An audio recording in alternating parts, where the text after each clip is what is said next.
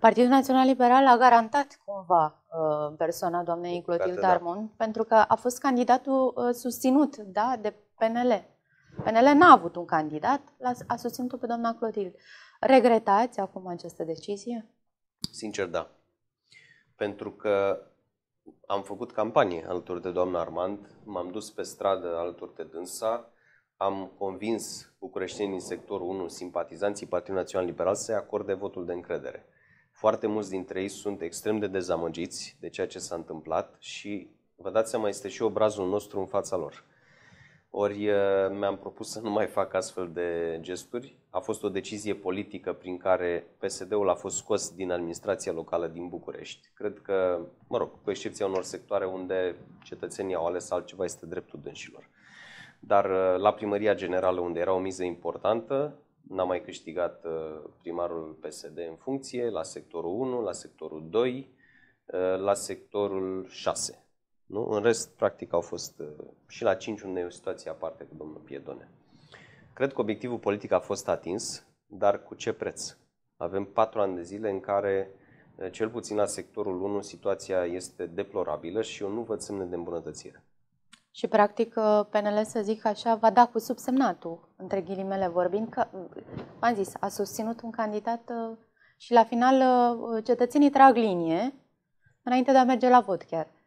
Da, noi ținem foarte aproape de oameni, de aceea uh, pentru noi este important pulsul cetățeanului din sectorul 1 și când atâția cetățeni au venit și ne-au spus nu merge ce se întâmplă în primărie, aveți grijă că ați uh, susținut o persoană nepotrivită pentru această funcție, noi am uh, fost obligați să luăm distanță față de acest primar care, repet, nu a înțeles ce înseamnă administrația locală, nu a înțeles ce îi spun primari performanți din țară, domnul Boc, domnul Bolojan uh, și atâția alții care spun foarte clar, ține de uh, regula de bază a administrației. Ca primar, primul tău aliat e Consiliul. Dacă nu ai o majoritate în Consiliul Local, nu poți să-i reprezinți, nu poți să-i deservești pe cetățeni, deci nu poți să-ți faci treaba.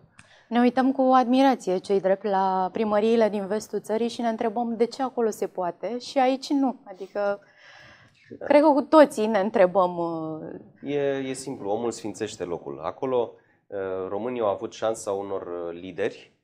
Aici, din păcate, sunt oameni interesați, repet, doar de imaginea lor, oameni incompetenți, oameni care nu înțeleg administrația.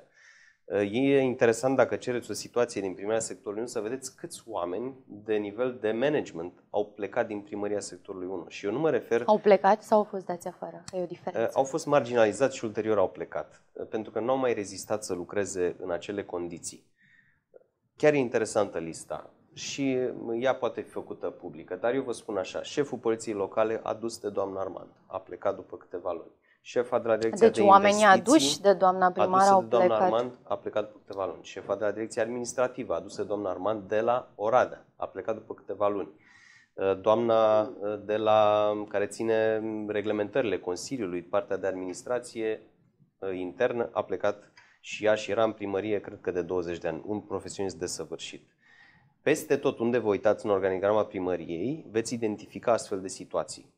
Și, repet, faptul că înlocuiește funcționari vechi sau, nu știu, aduși de administrația PSD, poate lumea ar mai înțelege. Dar faptul că îi pleacă toți oamenii pe care i-a adus city managerul, tot așa, adus din Bihor, domnul Barna, cred că îl chema, fără legătură cu Dan Barna, a plecat după câteva luni. Un om foarte competent. Deci, e lumea, dificil lumea de lucrat trebuie să se întrebe ce se întâmplă Armon. acolo. E dificil de lucrat cu doamna Clotilde Armon. Sunt convins că uh, genul acesta de oameni și, repet, mulți dintre ei erau foarte buni profesioniști, deci nu făceau compromisuri, nu încălcau legea, nu și asumau pe semnătură nimic, ceea ce ar fi putut uh, Poate fi interpretat aici ar fi fost astfel. Uh, o problemă. Asta nu e de competența mea și uh, eu sper ca instituțiile publice să se sesizeze. Vă mai dau o situație care pe noi pur și simplu ne șochează. În acest moment am calculat că în primăria sectorului 1, pe proiectele de hotărâre de Consiliu Local depuse de PNL, sunt peste 600 de zile întârziere cumulat de la termenele legale în care aceste proiecte ar fi trebuit validate. Să explic pe înțelesul tuturor. Un consilier local are o idee. Vă dau exemplu cu piețele volante. Vrem să facem piețe volante pentru țăranii români, pentru uh, a-și aduce produsele în sectorul 1, să mâncăm sănătoși și să le dăm și lor un spațiu de desfacere. Am depus un astfel de proiect cu colegii mei din Consiliu. El merge la registratură, de la registratură merge la cabinetul primarului. De la cabinetul primarului, conform legii, el trebuie trimis către departamente de specialitate, juridic, financiar și așa mai departe, care trebuie să întocmească referatele de specialitate. În codul administrativ se specifică foarte clar că în termen de 30 de zile aceste operațiuni trebuie încheiate, astfel încât proiectul să poată fi adus pe ordinea de zi a Consiliului Local. Doamna Armand ține aceste proiecte încuiate în sertarul dânsei de la birou, nu le trimite în direcții, ele tehnic nu pot să-și ia referate de specialitate. Directorii ne spun, nu am cum să mă pronunț pe un proiect care nu a ajuns la mine Corect, și atunci da. noi nu putem să-l aducem la vot. Deci, ce se întâmplă?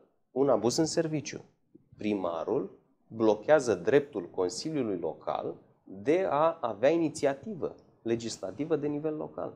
Ori genul acesta de abuz, voi depune și un proiect în Parlament pe această temă pentru a nu mai permite asemenea situații în toată țara, pentru că, vă dați seama, noi cetățenii alegem pe acești oameni să ne reprezinte, iar ei nu pot să-și îndeplinească mandatul pentru că uh, primarul comite acest abuz în serviciu. Ați discutat despre această situație și cu președintele PNL, domnul Florin Câțu? Uh, Cunoaște situația, uh, am spus-o și public, dar nu cred că este o chestiune de negociere politică. De altfel, din ceea ce noi am remarcat, primarul sectorului 1 nu este izolat în partid. Dânsa nu este în conducerea USR. Și dacă ar fi fost acolo, cred că lucrurile ar fi stat altfel.